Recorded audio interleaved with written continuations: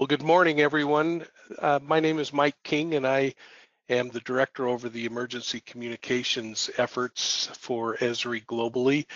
We appreciate you taking time out to join us for what we think will be one of uh, one of the better uh, webinars that we've been able to put together over the last couple of years.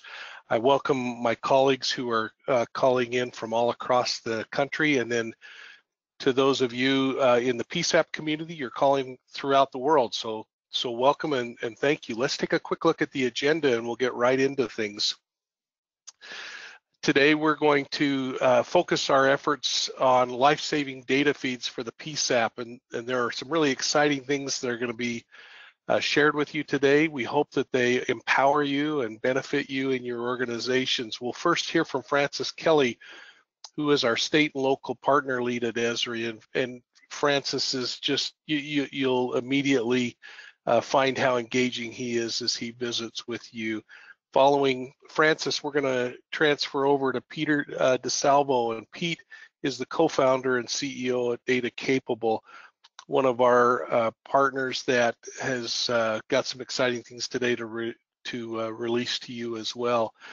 Following Pete, we'll hear from Kevin Armstrong, one of our solution engineers in the public safety arena. And Kevin's going to be sharing how some of this information can be brought together uh, and how you can immediately take these feeds that we're going to talk about and start to incorporate those into your business functions within your PSAPs. Kevin will uh, transfer things back to Francis, who's going to provide some additional content and uh, give us some to-dos.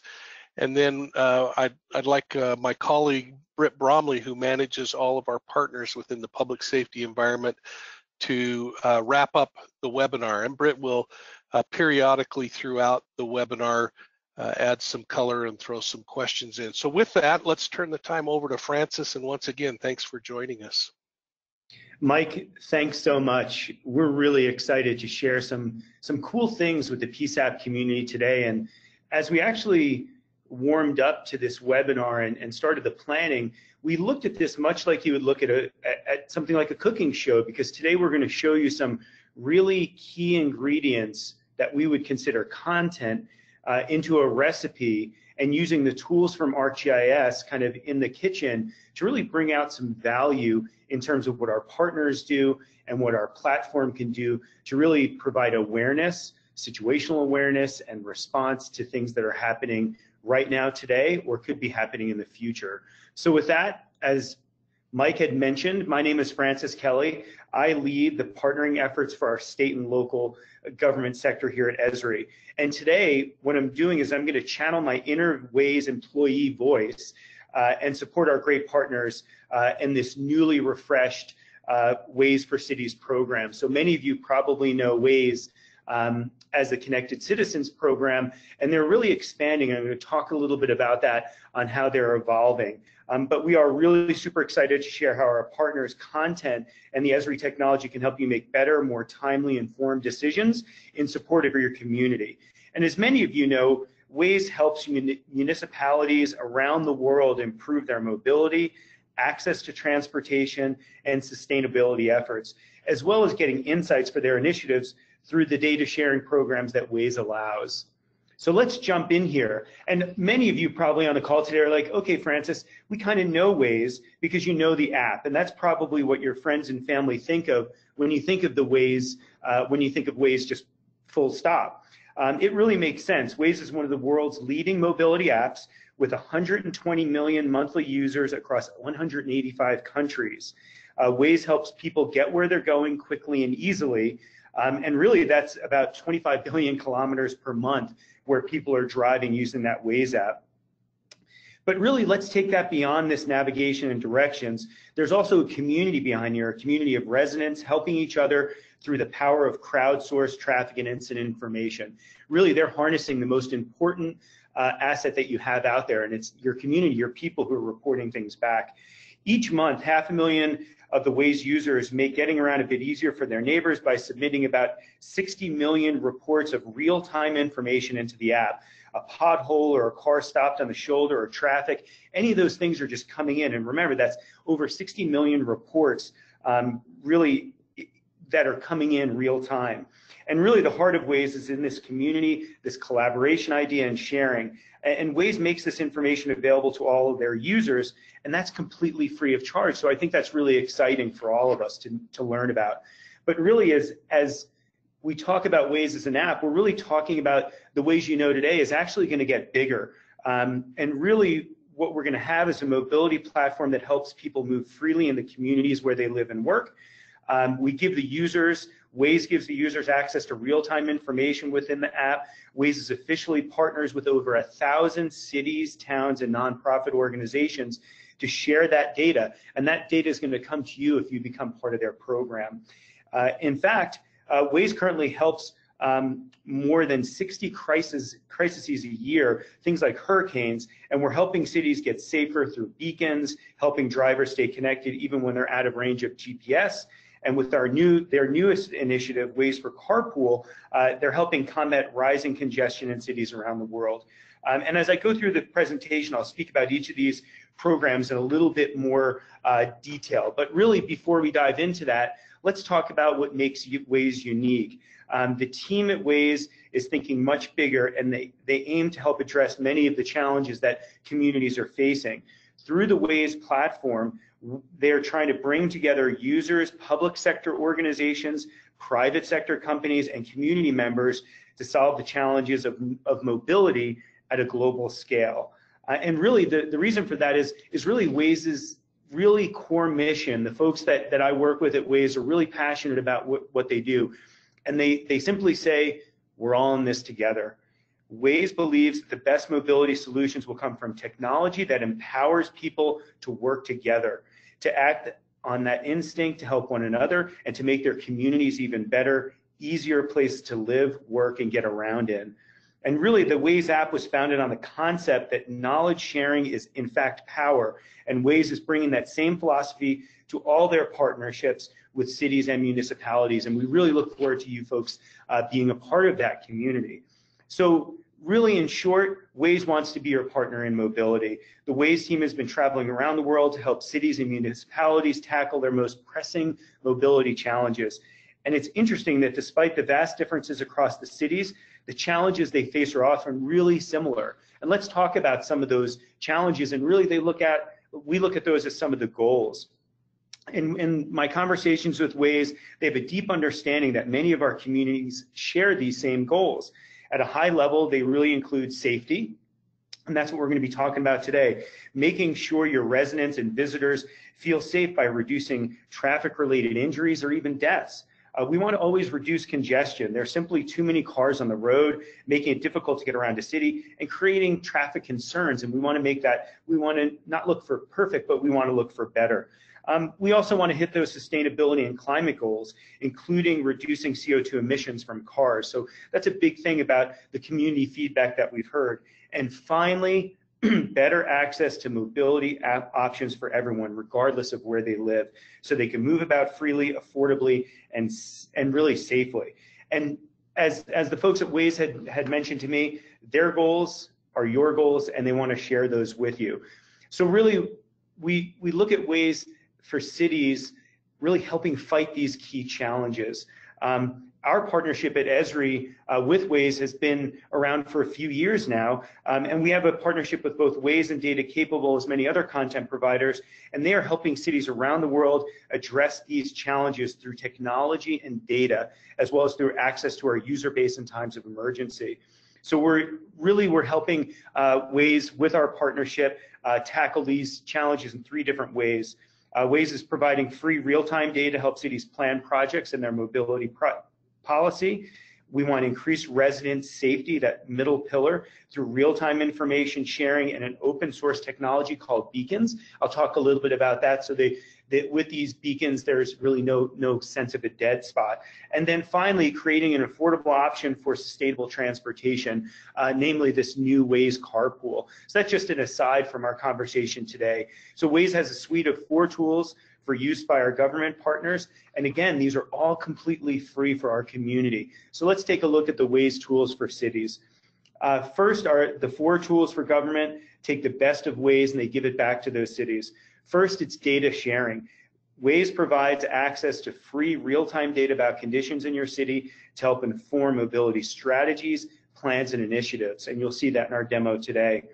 Carpooling is a big thing as we move into what's next for our communities. Uh, there's a new app that is live across the country, already helping reduce congested and CO2 emissions.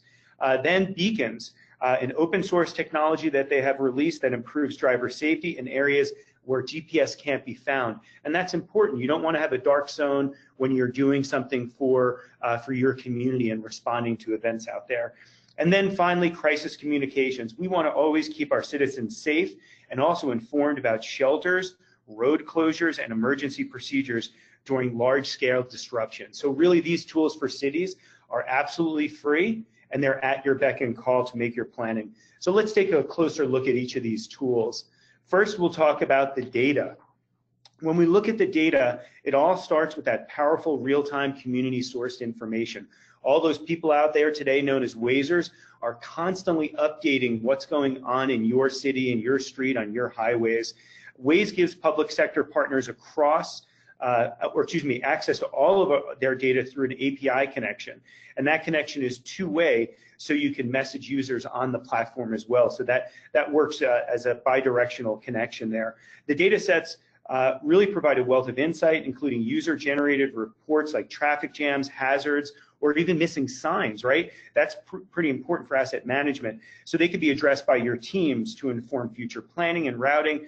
And then also we can provision or Waze can provision email alerts for any unusual traffic events so you can react to those in real time. And that's really cool. I think that's a, a very exciting thing for the community today that this content is there for them. Um, and really that, that public sector partner can really be proactive about unusual traffic. For example, by letting the Waze community know about a street closure, right? So not only you getting information as a Waze partner, but you can also give information like street closures that might be permanent or even temporary for an event. So that can be done ahead of time so traffic can be rerouted and people can be go on to their destination without doing the, you know, uh, slam to the face, if you will. Um, Waze can also push alerts to drivers in the case of a major event, a city marathon, for example, or any incident that might happen. So as you can imagine, it's a ton of data. Uh, so Waze can also help us manage that data as well. Um, so let's move on to carpooling in cities because I think this is just a really brief thing that, that the community should know about. Um, this is uh, next for, for Waze. Um, every partner for Waze Carpool gets a complete suite of offerings from Waze so they can launch and encourage adoption. Uh, and this really helps identify routes and neighborhoods. There's turnkey marketing kits, and there's in-app messaging for Waze drivers in your community to encourage carpooling. Um, and there's always the, the, data to track progress if you want to gamify. I know that's not the crux of why we're talking today, but as I'm channeling my inner Waze uh, employee, I, I, would be remiss if I didn't mention carpooling and, and cities as part of their initiatives. Let's go to beacons. Beacons have become really important um, to the, the Waze community. Um, and really when you think about the, this third tool are these beacons, and this is an open source technology that improves driver safety. Um, as we all know, tunnels can be dead zones for GPS and navigation, leading to things like dangerous lane shifts, missed turns or exits, or even accidents, incidents that need attention. Uh, myself, as I travel through Boston, as you come right out of that airport, gosh, you can get you can get lost and, and not routed correctly just through all the the maze they have right out there at, at the Big Dig. Um, the beacons that uh, Waze provides enable uninterrupted location services underground, therefore really ensuring drivers never miss an internal exit and there's seamless navigation to drivers or even an incident that might happen in a place where traditionally there isn't GPS, you can really have that incident get recorded and send someone out to, to respond to that in a timely fashion. Now remember, this, this technology is not Waze specific, it's open source. So that means all GPS providers can incorporate these beacons in their solution for free, uh, serving Wazers and non-Wazers uh, throughout. So that's a, a really cool uh, a, really cool opportunity. Um, it's really a simple solution with a big impact. Impact Waze is already seeing over 18 cities, including New York, uh, Boston, where there are countless tunnels, uh, Pittsburgh, and also Paris. So it is a global program. Um, really, the last tool I want to take us through is this crisis communications. Um, Waze helps residents stay safe during a crisis through real-time communication directly within the platform. Excuse me, in times of crisis like a natural disaster, uh, Waze can help keep people safe by communicating road closures, detours, evacuation zones and in case of a flood, and emergency service locations and shelters for those in need. Um, as I mentioned earlier, Waze has more than 120 million users worldwide, so working with Waze can get much needed information out quickly and at a huge scale. So really, in, in, in an incident or a tragedy or a, uh, you know, a hurricane, you have access to the road closures and detour, detours, evacuation zones, and then emergency services locations and shelters, which are key during those huge uh, crises out there in, in, in your environments. So just a quick recap, as a partner of Waze, first and foremost, you get access to real-time data. You have access to real-time and historical data to help manage mobility and inform your future strategies, your infrastructure, your policies, you have access to a platform to communicate in time of need. You have open source technology to improve driver safety throughout your city and a turnkey carpooling program to meet your sustainability goals. So really to recap, Waze has really leaned forward with our community to say, we have the data, you have an appetite, let's make sure we have a great recipe and we can serve that up to your community. So again, Waze wants to be your partner in, in, mobility, and we'll talk about where you can begin and where you can go from here. Um, with that, uh, I'd really love to hand things over to my good friend Peter, who's a co-founder of Data Capable. Uh, this partner of ours has been massive as, as far as their uh, adoption of our platform and providing real value uh, through these social feeds. So thank you very much for your time, and I'll be back shortly. Yeah, thank you, Francis. Uh, like Francis said, my name is Pete DeSalvo, co-founder, CEO of Data Capable. And first of all, I just want to thank everyone for joining today. I know everyone's got busy schedules and taking time out of your day, your busy day, tells me that you're truly passionate about saving lives, specifically with data feeds like all of us here on this call. So thanks for joining. I'd like to start with a statistic that's pretty staggering. In, in 2019, by the end of 2019, there'll be over 1.5 trillion photos shared on the internet. And really, that's just reflective of more than just photos and videos. Everyone is sharing content today online. All diff different types of data feeds are available. And really, that's what Data Capable is focusing on, harnessing this data and more in real time and turning it into actionable intelligence. This is an event, an active shooter event that happens on August 31st. Unfortunately, in the US, these active shooter events happen pretty often. But I wanted to play this clip of the police dispatch audio just to get a sense of how chaotic it can be and really get our heads into the space of how important everything is we're talking about today. So I'm going to play a, short one minute video. Trooper down, shots fired, 131 westbound. He was shot in the gut, the left lower gut. Troopers are working on him right now. We have an active shooter on the interstate. There's another gunshot victim at 125 mile marker. We got one in the disc shot wound to the head of this victim in his 18 wheeler. He is DOS. We're getting multiple calls for different victims at different locations. Headquarters, if you can, Get the chief to get on the radio on the news media to everybody to shut down Midland. We're trying to get everyone to go. What'd you say, Sandra, five, nine? Go, go, go, go, wait. No, I'm in, I'm in. And. I'm in, getting.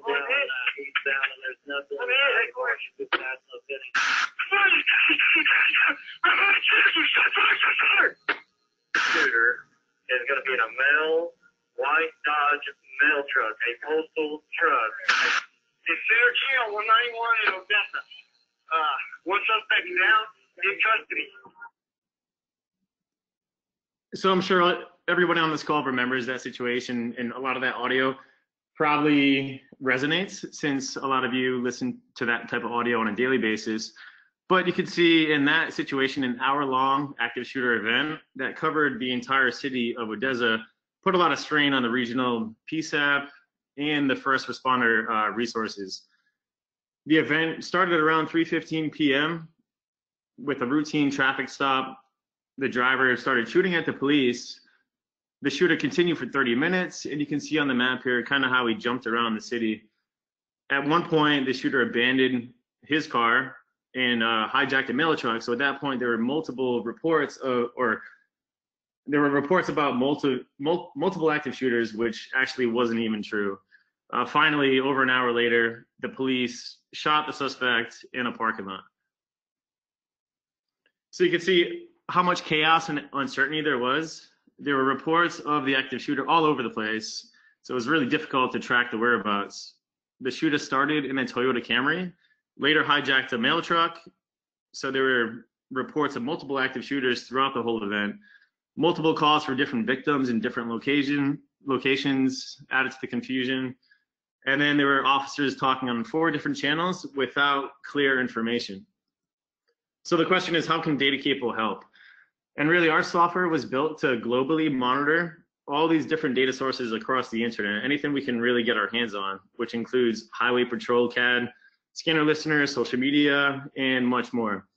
We filter out as much noise as we can using some patented machine learning algorithms, but still that's not always enough. So we offer 24/7 human in the loop validation in monitoring, monitoring and enrichment during the event. And then finally, we use Esri mapping technology to put this data on a map in real time. And specifically in this scenario in Odessa, we were providing notifications via text and email in real time. We were capturing some of these relevant pictures and videos, and we all know that pictures uh, are worth a thousand words. And we had human in the loop validation and contextualization. So throughout the event, we had people that were actually following and kind of removing some of that false information that was spinning around the internet like I said, we, we have some machine learning patented algorithms. This is a list, current snapshot of what we have today, but we're constantly expanding and improving, and we're always looking for recommendations on what algorithms or what use cases or topics to focus on next. As far as integrations go, we're, we're an Esri business partner. So ArcGIS is a great way to go. if you already have Esri maps, It'll integrate seamlessly and quickly in minutes. If you don't, we also have a standard REST API. Some of you might already have text to 911, so the, our text message alerts might be a good place to start as you build up your Esri architecture or system. We've also got email alerts, and if you have no tools in place, we have our own UI that's standalone. Here's a list of uh, our current clients or some of our clients.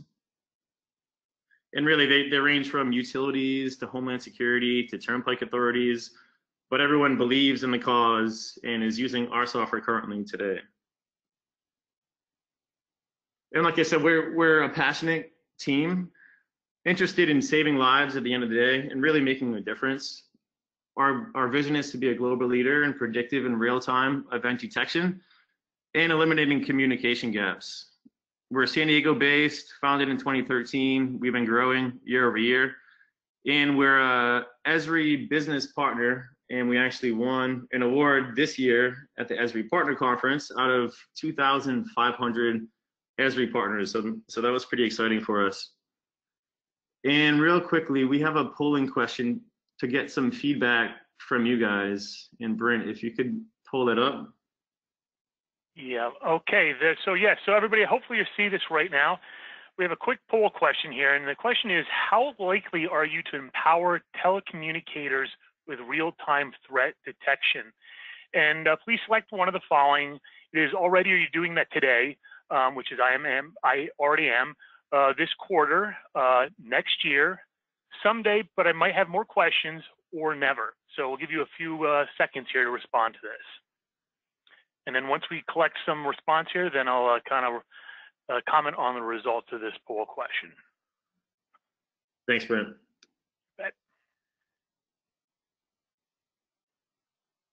All right, so the results are in. So thank you everybody for uh, responding to this. So uh, I was overwhelmingly uh, the first response or the most popular response was someday, but I have some questions. So I guess that's great. It means that people are really thinking about this, um, but maybe the timing, maybe it's just how to pull this together. Um, and then I think the rest of the responses are evenly spread between the other re results. So, um, so Peter, I think you had one more uh, slide. Yeah, thanks for answering that question. That kind of gives us a sense where everyone's head's at which is expected. Um, you know, we're talking about futuristic things and, and ways to help save lives with data. But we hope that by giving away our active shooter layer through our Esri ArcGIS feature services as a layer, we'd like to give it to free to all PSAPs, big and small. Anyone on this call, just reach out to me personally at uh, peter at datacapable.com for access. And and maybe that'll give you some more insight into how it can be used and you know push you into the future of consuming these types of streams so i'll leave this up here for a minute so feel free to take a screenshot or write it down and we can open it up to questions yeah peter so um, i do have a question for you and uh, i think this kind of really ties nicely to one of your slides where you're talking about the integration uh, and so the, the question is what are the requirements for an organization to utilize DataCapable's unique services? Yeah, that's a great question. And really, there are no requirements. It doesn't matter what you have for existing technology. If you have existing technology, we can integrate in multiple ways. If you don't, we can provide our solution hosted in the cloud, so you don't need to install anything on your network. From big to small, doesn't matter what your budget is. Our pricing model is pretty flexible and kind of like an a la carte menu. So you could choose one small piece, grow into it, or just go for the, the whole package right off the bat. It's really up to you. Sounds good. And I think that, you know, you know, when you look at that poll uh, question and overwhelming was, you know, someday have more questions, obviously they contact you, but I think it's also people just kind of getting their heads wrapped around how do they leverage um, these capabilities in what they're doing in the PSAP. So I think that that that that really makes sense based on what you showed here, um, and then they can obviously reach out to you. But I think it also is actually uh, a really nice segue to uh, our next presenter, which is Kevin Armstrong, and Kevin's gonna. Uh, he's going to show the uh, some some of the integration of these data feeds into your PSAP. So with that said, uh, Kevin, uh, I'm going to hand the hand this off to you. All right, thank you, Britt. Um, and what I'd like to do just to start talking about how to integrate this data is I want to show you an example of, um, this is an operations dashboard. So this is a out of the box Esri uh, web application uh, that comes with ArcGIS. And uh, we have this configured here uh, with live feeds from Ogden, Utah. So uh, using GIS, we've created a connection to uh, their CAD and their AVL. So you see on the map here, the, the blue and the, the red are the units, so blue for police, red for fire, and you can see them moving along. And then uh, all the different colored um, points on here, as we zoom in a little bit, you can see are the actual CAD calls as they're coming in. Um, so the larger the dot, the more recent uh, the call is. So you can see this one's just uh, a few minutes old.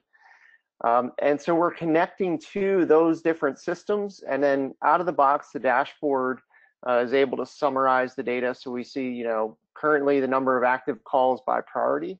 Uh, so we have two priority one calls and you can click on that and it'll actually filter the map for you. So we see here's the location of those two priority one calls and we see the list on the left that's updated. Um, and we also have the AVL information so we can see all the active units uh, and uh, depending on the unit, we can click on them and, and actually follow them. The dashboard will, you know, as their location updates, the dashboard will automatically pan and, and follow their location. So it really shows you the power of GIS to connect to data sets that you have uh, access to locally. Um, but what we'd like to do is, is show you how you can then um, connect to some of the feeds we've been talking about from DataCapable and from Waze. Uh, so to get access to those feeds, I want to start here in our ArcGIS marketplace. Uh, so to connect to Waze, uh, you can sign up uh, to uh, their Connected Citizens program. So if you go to waze.com forward slash CCP, uh, you can uh, connect and sign up for the Connected Citizens program. Uh, and when you submit that form uh, to sign up, Waze will give you credentials uh, for accessing that feed. And to access this, all I have to do is just go to the marketplace, type in a search for Waze, and you see we have the Waze Live Alerts layer within the ArcGIS Marketplace. So if I click on that, um, all I'll have to do, uh, I'm already signed up, but there'll be a button here to say subscribe, uh, and you would just click on that, enter your credentials, uh, and that would give you access to this Waze Live Alerts layer. And once you are granted access, you can just hit View Item, and this will show you uh, the details page for that layer, and you can then share that to your organization. Uh, so whether you use an ArcGIS Online or ArcGIS Enterprise, um, I can connect, I can share this out. Uh, I've got a couple groups that I've already created in my organization that I can share this layer to. And then once those groups are created, I can then start inviting people in my organization to those groups so that they can then access this feed and use it on any of the, you know, large uh, selection of web and mobile and desktop applications uh, that come with ArcGIS. Um, so I'm going to show you now that I've, I've shared that layer uh, with my ArcGIS organization, um, I'm in here kind of behind the scenes of that dashboard, and this is the actual web map uh, that's being used in that dashboard application. Uh, and this is where I can go in and kind of configure all the layers, set up labeling, symbology, add new layers, etc. Uh, so once I've shared that Waze layer, all I have to do is, is go ahead through and search uh, my groups, and I can type in Waze, and here's that Waze live alerts layer. And I can just click add that to the map, and it's automatically in there for me. So I've already done this. That layer is, is in here. Um, you can see the symbology. It comes pre-symbolized. Uh, so I can go in here and, and see, you know, click on these. See, we have uh, Hinckley Drive. We have an accident that was submitted a few minutes ago. Um, and I actually have connection to the Utah DOT uh, traffic camera, so you can actually uh, click the traffic camera. You can see the accident uh, here uh, on the traffic camera as well. So uh, we're getting live alerts from Waze. These, this data is updated every minute or two, um, so you don't have to do anything except when you add it in, um, you can set the refresh interval on the layer so that I don't have to touch the map every, in this case, every 30 seconds, it's gonna go and look and refresh that layer for me uh, to see if there's new incidents reported. And some other things that I can do, I can configure the pop-up. Uh, so when I click on the, the actual alert or the, I can style what fields show up here and what information. In this case, I'm just showing the location and the last update and the type of incident. Uh, you can also do things like create labels if I wanted to label um, all these alerts. In this case, I, I can pick any of the fields that are in the data itself. Uh, but in this case, I actually created a custom expression. Uh, and if you look back here, you can use what's called Arcade. This is a um, comes with ArcGIS. It allows you to create custom uh, labels and symbology. In this case, I'm just doing a, a, difference of the date between now and the actual update time of the Waze incident. Uh, and when I do that, you'll see it's it it compares the current system time of my machine with the time that that Waze incident was added, and it shows me how many minutes ago uh, that incident was put in there. So we see this says nine minutes ago, uh, and as time keeps ticking, that'll automatically update. So there's some really nice things you can do within the web map to make a nice, uh, very easy to use uh, uh, app for all of your users, whether they're GIS professionals or not. Uh, the other thing that we can do uh, in here is add in the data capable feeds. So if when you subscribe to data capable, uh, they will send you a URL with credentials.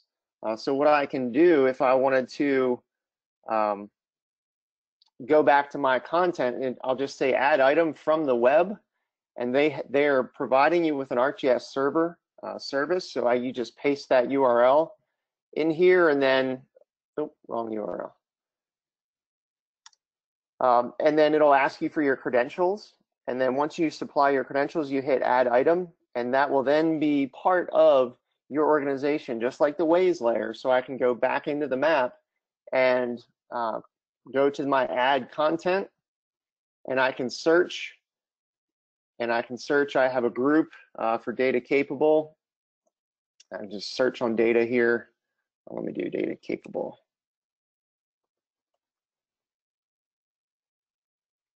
And you can see all the different layers that we have uh, from data capable. So here's the active shooters layer. Uh, this is one, if we can open this up, we see we have two incidents in there now. Actually, one was uh, just updated today. There's an active shooter event in Plymouth, Massachusetts. Uh, so you can see that uh, in the uh, in the layer as well. So once you add all these to your web map, you can then share this web map and you decide who within your organization you want to have access to it. And then how do you want to share it? And in this case, you can create a web application. So I'm using our operations dashboard uh, template. So that's the one that I've uh, used to create this dashboard. So I'm going to go ahead into the edit view of that dashboard. And you can see how it's configured here. I've got all the visualizations uh, already created. But for what I would like to do is some of that new Waze data, I'd like to add that in. Uh, so I'm going to create a visualization here. Uh, within Ops Dashboard, this is a list of all the different types of visualizations you can use.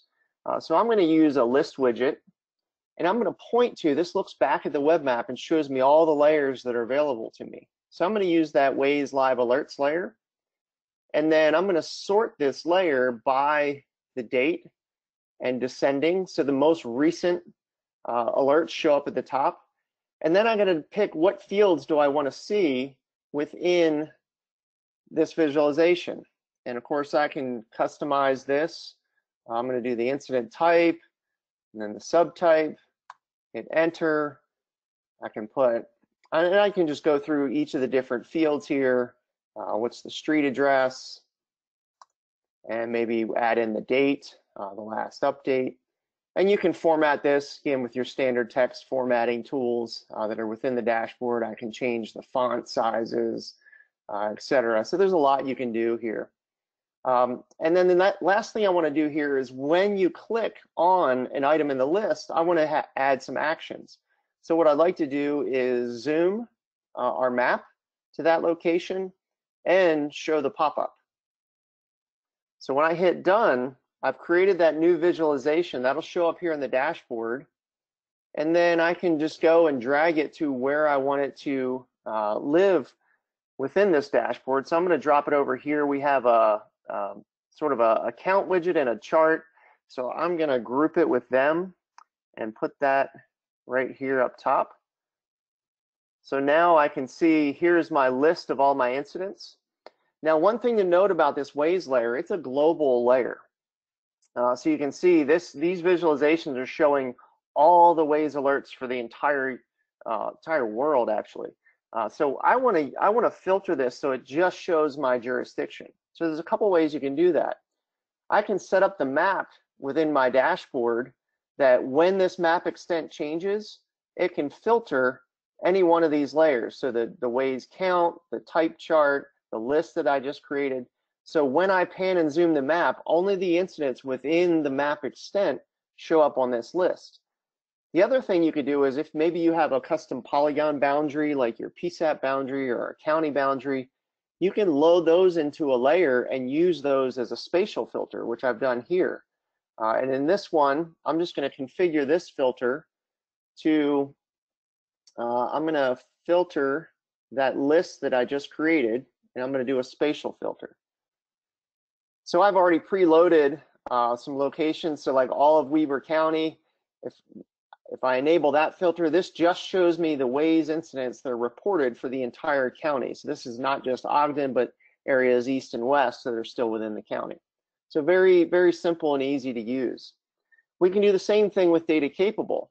Uh, so in this case, I'll, I'll go ahead and we'll create another list and I can choose what do I what layers from data capable do I want to use. So in this case, we're talking about active shooters.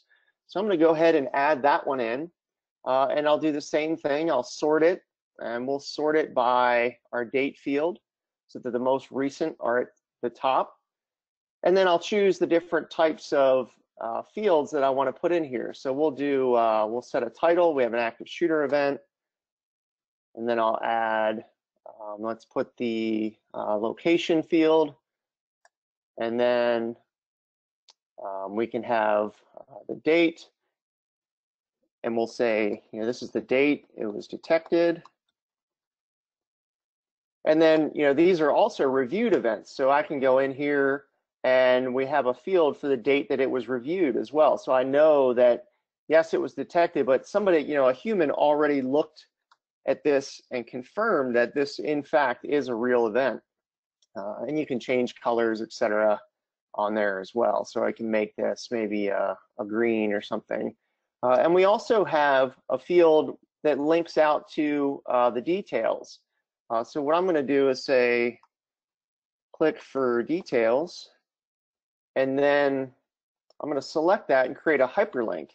And there's a field in there that is called detail URL. And hit OK. So now when I click on this, it'll launch uh, the um, the page for uh, that opens up uh, data capable. Oh, it's called details URL. Sorry, let me change that. Details URL. Hit OK, and then hit done. So I can add in this list uh, and this will show me all the active shooters. So I'll drag this over to our data capable uh, section here. And we'll have this list. Oh, let me drag that up to the top. And group that as a row. So now I can see all the active shooter events. And I can set an action as well. So when I click on that, let's just have it, uh, we'll zoom to the event in the map and we'll show the pop-up information. So I can hit done. Now when this uh, list refreshes, I can click on this. This will zoom me over to the location. We're now over in um, in Massachusetts, in uh, Plymouth, and that event, let me zoom out. Here will show up in just a second once my browser refreshes. And I can click for details, and this will launch me out to the uh, to the incident page so you can see all the information that uh, has been collected uh, about this specific event. We see that it's verified. Uh, it's got a check mark up there, so I know this is this is real information. So you can see how easy it is to begin integrating a lot of these feeds uh, into uh, your your ArcGIS apps. Again, very simple. I'm going to go ahead and save this dashboard so that these visualizations are now part of um, the dashboard that I've created. And again, there's a lot more we can do to configure the dashboard. I just wanted to give you a, an overview of how you can connect to this information, um, how this looks within some of our Esri apps. In this case, we're looking at Operations Dashboard, um, and uh, just show you what's out there uh, and how you can easily enable your PSAPs to have these life-saving uh, and real-time feeds uh, from Waze and from Data Capable. All right, with that, I'll pass it back to uh, Francis to give you more info on Waze. Kevin, thank you so much for bringing this all together. I think when I spoke about the Waze relationship and Pete about data capable, it's really key to kind of put this all together um, in one place, right? So uh, let's see here, I should be sharing my screen now. I wanted to move over to a couple of calls to action for the group today. So first and foremost, Kevin, thank you again for bringing this all together. Uh, you made it really compelling as far as bringing these data points together and getting us into an operations dashboard. Specifically for this event today, we put together a new landing page for our relationship with Waze. So uh, this shows integrating Waze with, with ArcGIS, road closures, our solution template there, how to go to the marketplace and, and get the data, and then how you go ahead and build dashboards. Uh, we also called out how to share your data locally, and Kevin went over that as well. And then also showing some data automated events with the Waze connector. So really try to, to give you a good homepage and landing page for the work with Waze. And of course, as always, Traffic Insights is at the foundation.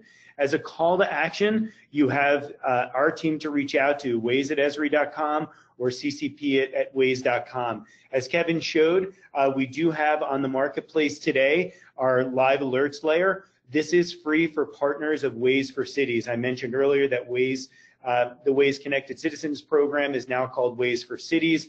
When you click buy, that reconciles to their partner page and you simply join and apply uh, to the Waze for Cities program. And again, we're opening the aperture there because it's not just connected citizens for the traffic data, it's also for the carpool and the beacons and other things. So I just wanted to make sure everybody was aware of that. And then I also wanted to go back to uh, really our good friends and great partner at Data Capable. Uh, you know, uh, Pete and the team there, they mentioned they won an award, but I wanted to really underscore that award because it reflects the significant effort and consideration that the team, the data capable team had made in integrating with our technology at Esri to create this futuristic real-time environment that can analyze and predict events that affect the safety and well-being of our community. So I think Pete and the team remain very humble as part of our community, but they are here to help. And as part of their helping, this active shooter feed uh, is going to be free to all PSAPs. And the call to action there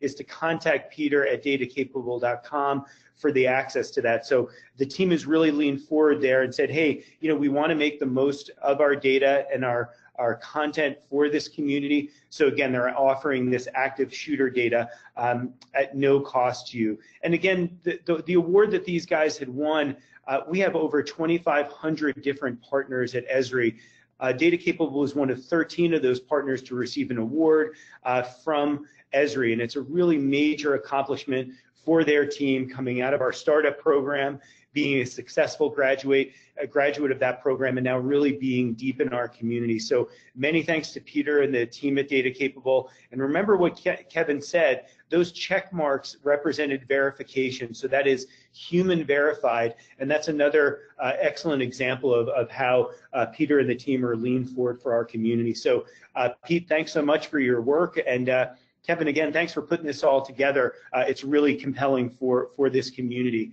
Uh, now I think we have some a little bit of a call to action on this free ebook that we're providing, Five Ways GIS Empowers Next Gen 911. And I think we also uh, have an opportunity to address some questions, uh, comments, and concerns from our community. Uh, thanks very much. All right. Thank you, Francis. Uh, so a couple of few things. Uh, Francis, you're not off the hook, so I, I, need to, to stay on the line because we, we have received a bunch of questions uh, throughout the webinar, and thank you for those who did. A lot of them were kind of focused, and we will follow up with those questions individually uh, after this webinar, but there's a couple here that are related to Waze that I wanted to throw out there. Um, so the first one is the Waze for cities and CCP data made available to Esri partners. Uh, yes, um, if you contact uh, myself, uh, F-K-E-L-L-Y at Esri.com, we have worked with our partners uh, to ensure that they can get a demo sample uh, of the data so they can not only work with the integration, but showcase that integration. Uh, they can reach out to me directly on that. my email is F K-E-L-L-Y at Esri.com, and we're happy to help out there. No problem at all. Great, thanks. And this next one, it, it may be you, Francis, it may be uh, Kevin, but the question is, does the Waze incident automatically go away on the map once it is what is it, either old or has been resolved?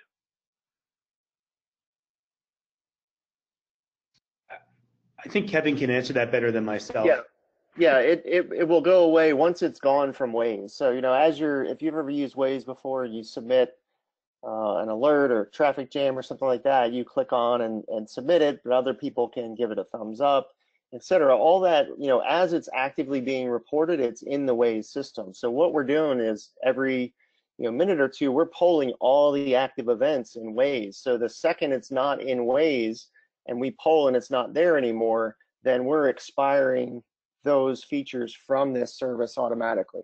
So as an incident is is viewed and you know it's it's still within Waze people are reporting it saying yes that car is still on the shoulder we're still showing it once, you know, Waze cleans it out and says, okay, you know, somebody either says, no, it's not there anymore, or it just times out, then it will time out on our side as well.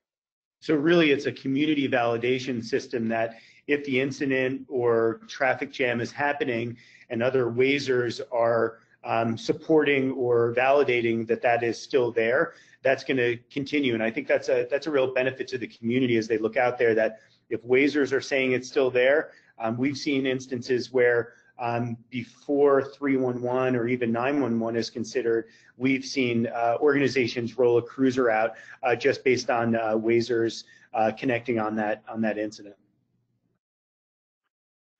Perfect. Thank you to both of you. So uh, there was a couple other questions that came through around Waze Hub, and we'll follow up on those afterwards, um, and I can kind of explain on that one. But uh, again, for all the other questions that weren't addressed, we will definitely follow up you uh, post webinar uh, on those items. So a few more additional items I want to cover today with our few final minutes here. Um, I don't know if we mentioned, but today's webinar is being recorded and the recording will be posted on the Esri industry web pages. And we'll also be sending a link to all the attendees. Um, and in addition to that, we will be sending uh, some links and information based on the information that's presented today. And I think we'll also be able to provide you some of the email contact names of the presenters. So if there's follow-up questions, you can definitely reach out to uh, any of us, to be honest. Um, so uh, again, that that will be all included in a post uh, email to all the presenters. Uh, I would also ask, and uh, if everybody doesn't mind to fill out the survey of the webinar, we always appreciate the feedback and the comments. Uh, it always makes them for better uh, presentations in the future. And we also get your input, uh, maybe what things you'd like to hear in a future webinar. So please uh, don't hesitate to uh, fill those uh, surveys. Um, a little reminder that Esri will be at the IACP conference in Chicago in about a week and a half. Um, and uh, so we'll be in booth 2815. You don't need to remember that number. There'll be plenty of maps uh, on the floor, but uh, Mike King, uh, Ray Umali, and myself will be uh, there uh, along with some of other colleagues. Um, and I guess to mention Ray Umali, I don't know if we've mentioned that before, but there's one person you have not heard on the call today, and that is Ray Umali, and he's really the organizer of this webinar. So a big thanks to Ray for pulling all the everybody together and all the presenters and making this thing uh, go off so seamlessly uh, every time we do that. So uh, I, I want to thanks again to uh, Francis and Peter and Kevin for your pre presentations. And uh, lastly, I want to thank for all of the attendees for uh, joining the webinar today. So on behalf of everybody at Esri, have a great day.